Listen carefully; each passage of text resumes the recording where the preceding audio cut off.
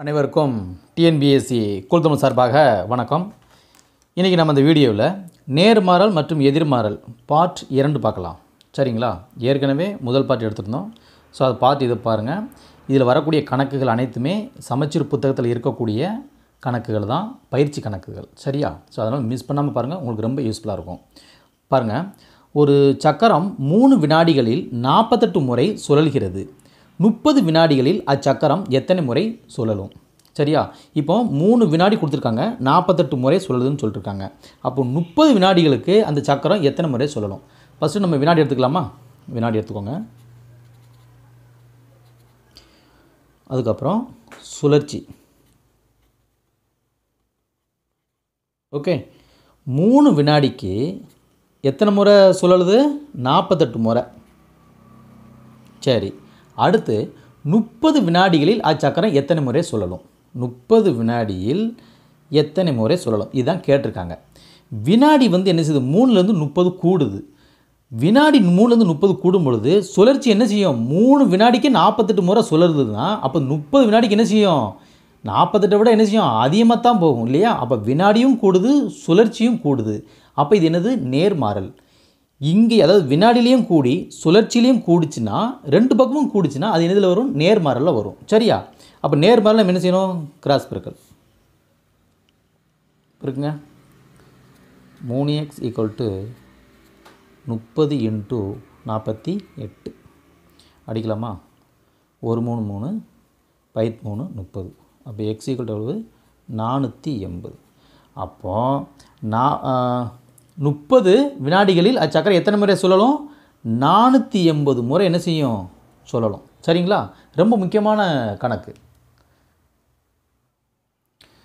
நிழற்பட கலைஞர் ஐந்து நிமிடங்களில் நூறு நிழற் பிரதிகளை உருவாக்குகிறார். அவர் ஆயிரத்தி இரநூறு நிழற் பிரதிகளை உருவாக்க எத்தனை நிமிடங்கள் தேவைப்படும்? இதில் பாருங்கள் நிமிடங்கள் ஐந்து நிமிடத்தில் நூறு நிலர் பிரதிகளுடைய எண்ணிக்கையை உருவாக்கிறாரு. சரியா? அப்போ ஆயிரத்தி இரநூறு நிழற் பிரதிகளை உருவாக்கணும்னா எத்தனை நிமிடங்கள் தேவை? அப்போது நம்மளுக்கு நம்மளுக்கு ஃபஸ்ட்டு என்ன எழுதிக்கலாம்? நிலர் பிரதிகள் எழுதிக்கலாம் சரியா? நிலர் பிரதிகள். நிலர் பிரதிகள் அடுத்து நிமிடம். நிழற் பிரதிகள் எவ்வளோ கொடுத்துருக்காங்க? நூறு கொடுத்துருக்காங்க. நூறு எண்ணிக்கை உருவாக்குறதுக்கு எவ்வளோ நிமிடம் ஆகுது? அஞ்சு நிமிஷம் ஆகுது. அப்போ ஆயிரத்தி இரநூறு நிழற் பிரதிகளுடைய எண்ணிக்கை உருவாக்கணும்னா எத்தனை நிமிஷம் ஆகும் அப்படின்னு கொஸ்டின் கேட்டிருக்காங்க. ஐந்து நிமிடத்துக்கு நூறு நிழற் பிரதிகள் உருவாக்குதுன்னா அப்போது இங்கே எத்தனை நிமிடம் வந்துச்சுன்னா ஆயிரத்தி இரநூறு வரும். நிமிடம் அதிகமானதான் என்ன செய்யும்? நிலர் பிரதிகள் ஆயிரத்தி இரநூறுவா உருவாக்க முடியும். அப்போது நிழற் பிரதிகளும் கூடுது நிமிடமும் என்ன செய்யுது கூடுது. இந்த மாதிரி கூடுச்சுன்னா அது நேர்மாறல். நேர்மாறல் நம்ம என்ன செய்வோம்? கிராஸ் பண்ணணும்.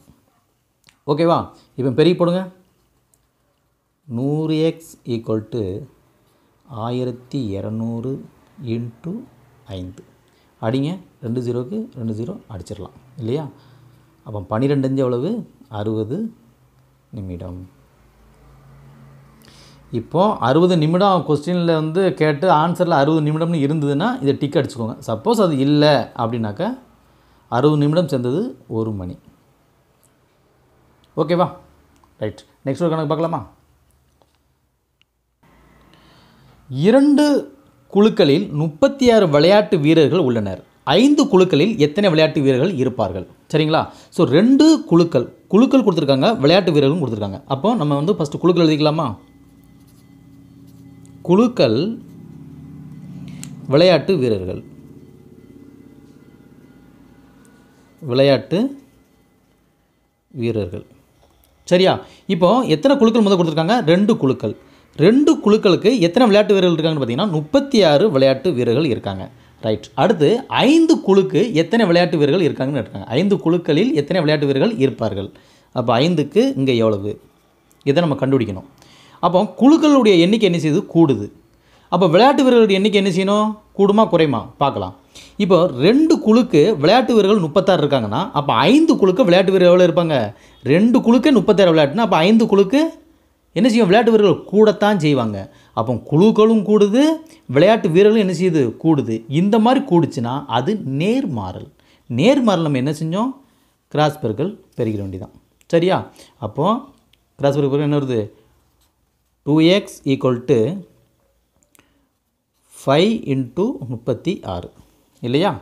இதை அடிச்சிடலாமா? ஒரு ரெண்டு ரெண்டு பதினெட்டு ரெண்டு முப்பத்தி ஆறு. ஸோ அஞ்சு இன்ட்டு பதினெட்டு. பெரிய போடுங்க. தொண்ணூறு வருமா? எயிட் நாற்பது சீரம் ஓகே. அப்போது அந்த ஐந்து குழுக்களில் எத்தனை விளையாட்டு வீரர்கள் இருப்பார்கள்னு கேட்டிங்கன்னா தொண்ணூறு விளையாட்டு வீரர்கள் இருப்பார்கள். சரியா? ஸோ பிடிச்சிருந்தா மறக்காமல் ஒரு லைக் கொடுங்க. ஸோ மீண்டும் நல்ல ஒரு வீடியோட உங்களை மீட் பண்ணுறேன் ஸோ தேங்க்யூ ஃபார் வாட்சிங்